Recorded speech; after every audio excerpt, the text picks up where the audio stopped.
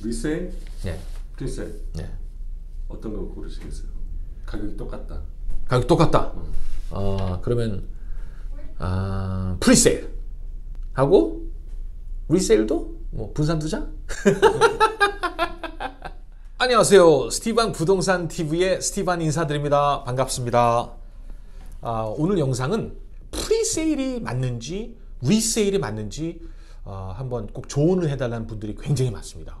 예, 프리세일은 뭐죠? 예, 신규 분양이죠. 아직 지어지지 않은 것을 아, 사는 거와 리세일은 그야말로 원래 지어졌던 거를 다시 파는 걸 사는 거죠. 둘 중에서 어떤 게 더 좋을까라고 저한테 많이들 이렇게 물어보시는데요.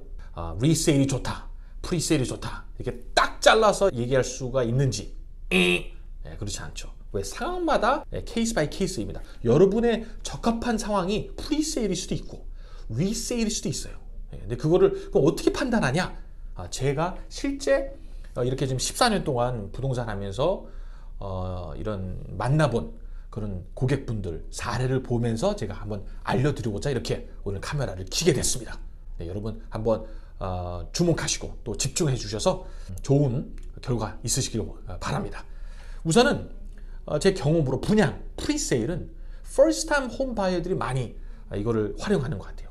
네, 그 이유는 현재는 몰게지를 내실 수 없는 상황인 분들이 많잖아요. home buyer는 아직까지 뭐 어, 좀 소득이라든가 이게 좀 충분치 못하는 상황. 근데 렌트는 계속하고 있단 말이에요. 근데 가만히 이렇게 뒤처지면서 렌트만 하다가 한 번에 사야지 이렇게 보다는 그런 분들한테는 예를 들어서 현금이 어느 정도 지금 좀 save가 됐다. 예. 어, 뭐 일반적으로는 한 10%에서 low-rise 같은 경우는 한 2, 3년에 완공되는 에서부터 뭐 high-rise 같은 경우는 뭐 15%, 20% 등등 이렇게 deposit을 요구하잖아요. 그 정도의 가격을 아, 이제 어떤 금액을 자기가 모을 수 있다 또는 좀 어느 정도 모아져 있다. 근데 income은 조금 아, 안 됐다 하더라도 이거를 아, 구매하신 분들이 많습니다. 그게 적합할 수 있다고 어, 보여집니다. 그런 상황이시라면 두 번째 상황이 어, 꼭 time home buyer가 아니더라도 어떤 투자자 개념 어, 왜냐면 이게 보통 아까 말씀드린 한 3년에서 5년 뒤에 예, 그 어, 시세를 지금 사는 거잖아요. 투자 면에서는 이게 뭐 지금 현재 시세와 그런 신규 분양 물건이 시세가 비슷하다 이러면은 투자할 가치가 높다고 보, 여집니다 아, 제가 솔직한 심정은요. 보통 한 3년에서 5년 사이는 더 뜰 확률이 더 높죠. 지금 현재 시세는 지금 비슷하다면. 다만 어, 현재 시세보다 구축보다 훨씬 더 비싸다 분양가가. 아, 그런다면 좀 조심스럽긴 합니다. 예, 이게 어, 뭐안 뜰 수도 있잖아요. 그죠? 근데 지금 현재 매물하고 어, 리세일하고 비슷한 어, 가격으로 분양가가 나온다면은 투자 가치가 높다고 봅니다. 그래서 투자자들한테도 환영될 수 있는 그런 상황이겠죠. 어, 또는 자식을 위한 투자를 하는 분들도 많이 계세요. 제가 보면. 아까 말씀 3년에서 5년 뒤에 완공을 하잖아요. 그러니까는 우리 뭐 아들, 딸이 그때쯤에 뭐 대학교 갔겠다. 아, 그래서 지금 디파짓을 내가 걸어주고 이제 뭐 졸업한 후에 여기 콘도에서 살게끔 해줘야지 이렇게 하셔, 하셔서 사시는 분이 많이 계십니다. 그래서 모계지는 네가 내라 이런 식으로. 그래서 어느 정도 미래된 투자, 예, 다들 좀 좋은 사례로 좀 제가 봤습니다. 실제로요. 어, 그리고 아까 뭐 투자자들에서 전매만을 위해서 이렇게 사시는 분들도 계세요. 예, 전매란 거는 어사이먼트라고 하잖아요. 한마디로 어, 막말로 먼저 치고 빠진다고 그럴까요? 분양권을 사고 부, 완공 전에 아, 그거를 좀 차액을 남기고 이제 팔고 나오는 거를 그것만 보시고 투자하신 분들도 있어요. 근데 이게 조심스러운 부분이요. 이 assignment 전매를 허용하는 개발사도 있고 허용하더라도 비용이 듭니다. 뭐 보통 한 2, 3% 전매 비, 비용이 들거든요. 그 판매가에. 어, 이거를 좀 깨알같이 잘 파악하시고 어, 이렇게 들어가셔야지 무턱대고 뭐 묻지마식으로 투자했다가 제가 낭패를 보는 분들 많이 봤어요. 왜냐면 전매가 허용되지 않는 그런 단지인데 전매만 위해서 사셨다가 어, 이거는 지금 어, 한마디로 컴플리션을 해야 되는 상황까지 오셔서 이 집을 팔아야 되는 투자했는데 자기 집을 그래야 컴플리션을 할 수 있는 그런 상황도 제가 봤고요. 또는 뭐 손해를 보고까지도 아, 이 왜냐 전매라는 거는 차액을 위해서 가는 거잖아요. 근데 시장이 어떻게 변할지는 사실 모르잖아요. 그게 분양 프리세일에 대한 어떤 리스크이긴 합니다. 예. 꼭 3년 또 5년 뒤에 무조건 지금 더 떴다라고 100% 보장할 수는 없거든요. 그래서 꼭 전매만을 위해서 들어간다는 것은 조금 여러분한테는 아닐 수도 있습니다. 그래서 아, 항상 아, 전매를 위해서 분양에 관심이 있으신 분들은 내가 아, 진짜 백업 플랜, completion을 할 수 있는 그런 내가 좀 자격 요건을 갖춘 상태에서 전매를 위해서 사야지 나는 몰라 나는 뭐 B 플랜 B가 없어 나 무조건 전매해야지 라고 들어갔다가 여러분 낭패를 보는 분도 있거든요. 그래서 꼭 그것도 파악하시고 그 여러분한테 상황이 맞는지 아, 그리고 어, 실제로 뭐 투자인 개념도 있지만 이제 말씀드린 대로 그냥 3년에서 5년 후에 어, 보통 upsize라고 그러잖아요. 내가 좀 더 넓혀서 가겠다. 또는 반대로 downsize. 어, 이제 자식들이 다 이제 장가 시집 보내니까 좀 줄어야 되는 경우를 미리 3년, 5년 후에 이 자기 계획을 어, 위해서 이렇게 분양을 사는 분들도 계세요. 실제 거주하기 위해서. 예, 이거 이런 분들은 또 분양에 대해서 장점이 하나 제가 또 말씀 자주 드리지만 신규 분양 BC 현재 법에서는 75만 불, 75만 불에서 어, 80만 불까지 이긴 한데요. 75만 불 이하짜리 신규 분양을 사시는 분들은 실제 거주 한에서 1년간 취득세가 면제. 빠밤. 네. 제가 항상 강조하죠. 취득세는 누구나 내야 되는데요. 첫 20만 불의 1%, 그 20만 불에 제외한 잔액의 2%가 취득세가 되는데요. 이거를 면제받을 수가 있습니다. 그래서 어, 지금 사놓으면 그죠? 75만 불 이하로 아, 실제 거주하는 목표로 사는 분들한테 딱 맞을 수도 있겠죠. 그죠? 그래서 그런 것도 아, 자기한테는 프리세일이 맞을 수 있다는 거. 아, 또 프리세일의 장점 마지막으로 제가 말씀드리면 지금 리세일 같은 경우는 실제 보고 사는 거잖아요. 그래서 더 많이 몰리긴 하거든요. 실제로 그러니까 예를 들어서 어, seller's market일 경우, 그러니까 집주인이 이제 갑일 경우 있잖아요. 그래서 막말로 막 갑질한다고 할 수 있는데요. 어, 자기 집을 내놓고 막 보러 와요 사람들이. 그리고 월요일 날 뭐 6시에 offer를 넣어라. 예, 그러니까 뭐냐면 아무리 마음에 들어도 바이어가 나 지금 나 이거 사고 싶어요. 안 받아요 offer를. 예, 그런 마켓인 경우가 있거든요. 지금 현재 이 시점에서 그렇습니다. 어, 워낙 매물이 없기 때문에요. 그런 경우는 경합이 됩니다. multiple offer라고 그러잖아요. 그러면은 이 집을 사기 위해서 정말 집어넣어야 될 컨디션들이 있잖아요. 보통 뭐 inspection 해보고 그죠? 또는 뭐 financing도 확인해보고 mortgage가 되는지 안 되는지 그 다음에 뭐 이게 strata인 경우는 콘도나 타운하우스인 경우는 strata 서류도 확인해보고 이래야 아, 그런 조건 만족 시에 내가 계약금 걸겠다라는 일반적인 어, 상황일 땐 그렇지만 multiple offer 막 경합이 들어간 경우는 자기가 이, 이 집을 따기 위해서는 그런 걸 하나도 집어넣지 못하고 막말로 묻지마식으로 사야 되거든요. 예. 거기는 리스크가 있죠. 그거에 반해서 presale은 법적으로 7일간 생각할 시간을 주어집니다. 그래서 cancel할 수가 있죠. 아까 그 resale의 이런 multiple offer situation은 경합일 때는 cancel 못 하거든요, 여러분. 무조건 묻지 마시고 그 집을 사겠다라는 마음이 확고하신다면은 그렇게 경쟁력 있게 오파를 넣어야 되는 상황이 지금 일어나고 있거든요.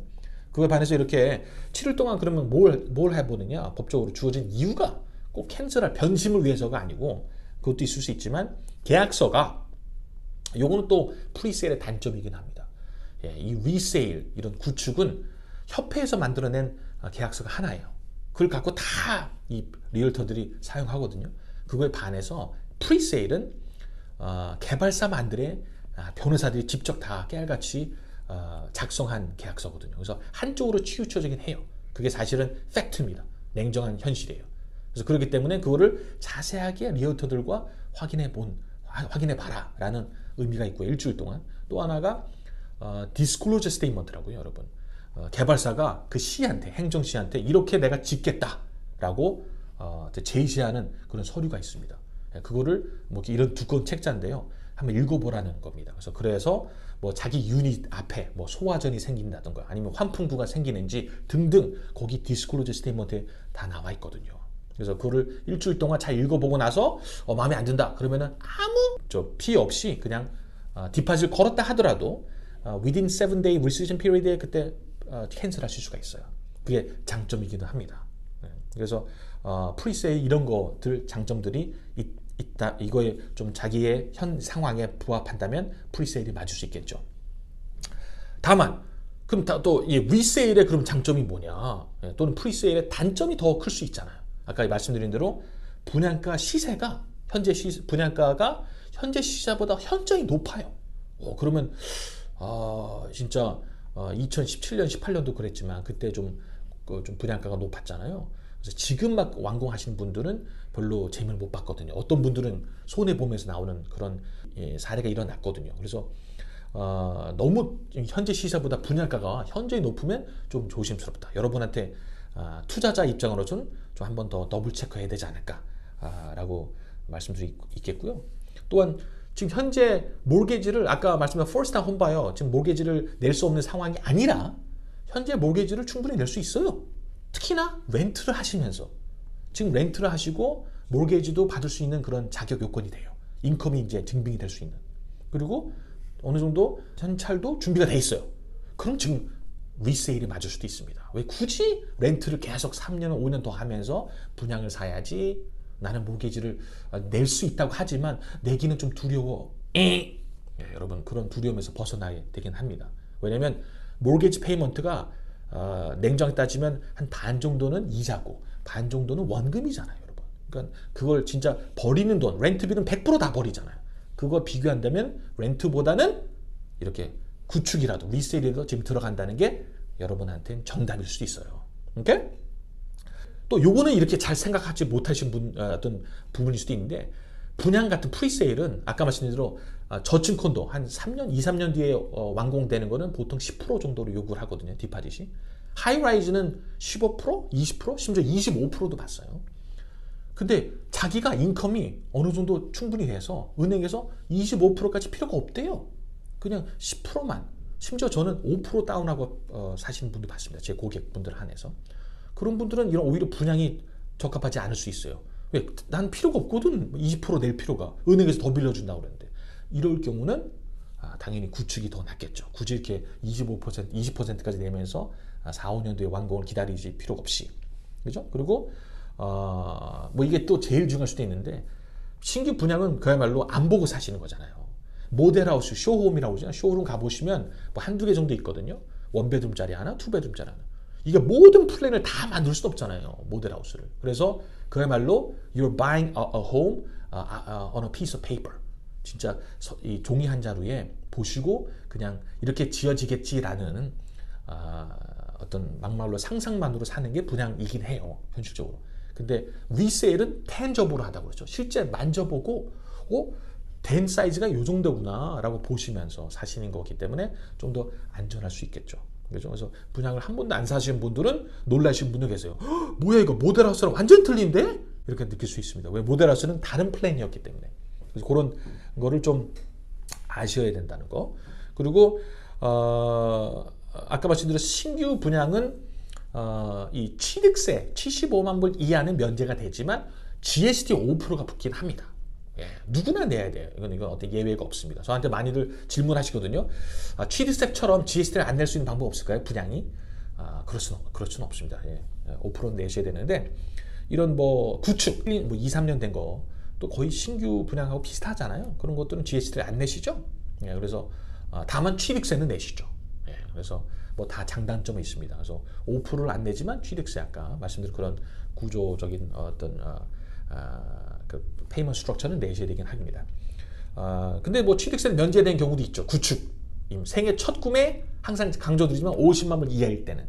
그죠? 근데 참 드물긴 합니다. 점점 더 드물어지죠. 어, 그리고 마지막으로 어, presale의 단점이면서 resale의 장점이 될 수 있는 게 뭐냐면 completion date이 resale은 구축은 확실하죠. 오퍼 넣을 때부터 seller랑 바이어랑 어, 동의를 한 그 날짜로 100% 이루어져야 됩니다. 안 그러면 상대 측이 어, 계약 불이행이 되죠. breach of contract. 그래서 그 completion date 날짜를 많은 분들은 모르시는데 계약서 넣을 때 정해집니다. 어, 그걸 반면에서 presale은 어떻게 되죠? estimated completion date이라고 그러죠. 그래서 예측하는 예상하는 어떤 잔금 치르는 날짜, 완공 날짜라는 게 있거든요. 계약서에. 그게 미뤄질 수 있죠, 여러분. 그리고 어, 보통 이거 이것도 어떤 계약 조항 중에 하나인데 outside date라고 있어요. 분양에서는. 그게 보통은 예, 예상되는 그 completion date부터 1년 뒤까지를 보통 어, 쓰여져 있는 날짜거든요. 그러니까 원래는 뭐 2024년 뭐 가을이다. 그다음에 outside date는 2025년 가을로 이렇게 보통 돼 있습니다. 그게 거기까지는 이 개발사가 하겠다라는 어, 어떤 조항이긴 한데요. 근데 이것도 어, 개발사가 또 notice를 주면 또 그것조차도 또 어, 몇 개월 또 미뤄질 수도 있어요. 그러니까 한마디로 좀 계속 늘어질 수 있는 게 사실은 이런 presale이긴 합니다. 그래서 확실하지는 않은 잔금 및 이사 날짜가 이제 진짜 와, 다가오고 있잖아요. 이제 예를 예측되는 게 뭐 3개월 뒤다 또는 이제 2개월 뒤다 이러다가 한 1개월 남겨둬서 이제 집을 팔아야 되잖아요. 그런 경우도 있죠. 아까 말씀드린 한 어, 실제 upsize나 downsize 하시는 분들 어, 자기 집을 팔고 진짜 들어가셔야 되는 분들은 여기서 낭패 보는 분들 가끔 계세요. 뭐냐면 미리 팔았다가 집을 왜냐면 예측되는 그런 그 어, estimate completion date를 날, 마- 날짜를 맞춰서 근데 갑자기 이런 개발사도 있죠. 2주 전에 겨우 2주 전에 completion 2주 전에 어 미뤄진다 뭐 한 달 더 이런 경우도 있거든요. 어, 뭐 이건 극단적인 예지만 일반적으로는 한 달 전에 notice를 줍니다. 그것도 좀 짧게 느낄 수 있죠. 그래서 completion date, 그 잔금 및 이사 날짜가 좀 불안하다는 게 presale이긴 합니다. 그래서 어, 그런 것도 다 아셔야 이렇게 프리세일과 리세일이 나한테 어떻게 맞는지 좀 판단하실 수도 있겠죠. 오케이? 그래서 이런 거를 자기가 한번 다시 한번 어, 확인해 보고 어, 올바른 판단을 하셨으면 하는 바람에 이렇게 영상을 찍게 됐습니다. Alright, as always, thank you all for watching, and I will see you next time. Bye bye.